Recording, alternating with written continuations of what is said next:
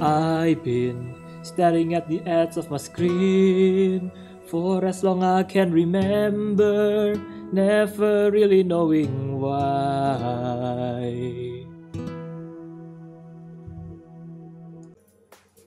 Vanessa Lauren always counter with Triana and CC.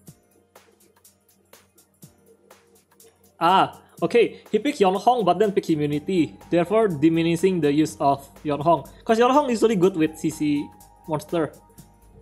I'll pick Diana and then Seara.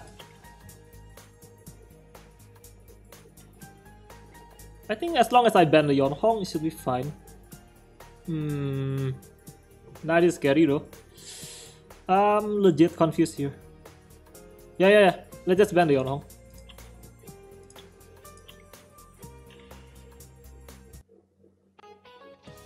Scary guys, he has the perfect, the perfect route com. Yep.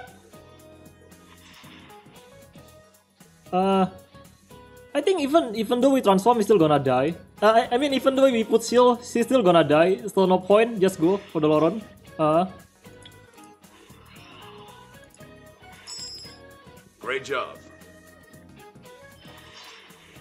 Goodbye, Atna. You'll be missed. Okay, now we can turn our attention to the rock. Right after I kill the Seara, guys. I mean, right after I kill this thing. Actually, who cares? Let's just kill. I can't have the Rao uh, get another turn. We dead.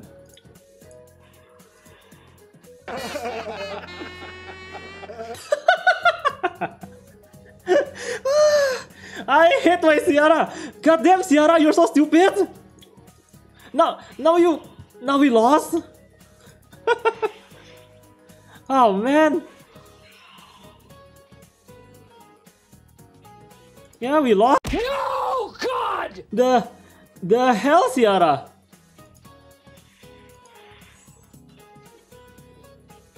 We need a pro if you wanna win. Okay, now I forgive you.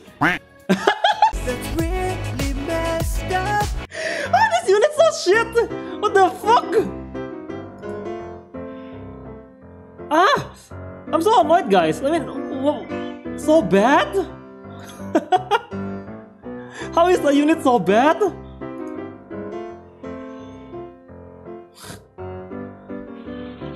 Now we lost. It's all it's all your fault, Diana. I mean, Seara, it's all your fault. Yeah, yeah, you deserve to die. Just die. Die. Hey, just die. Useless piece of shit. ah, this is stupid Seara. 69 accuracy. What a joke. What's the point, guys? 72% in fact. accuracy is a lie, okay? Why don't you cry about it?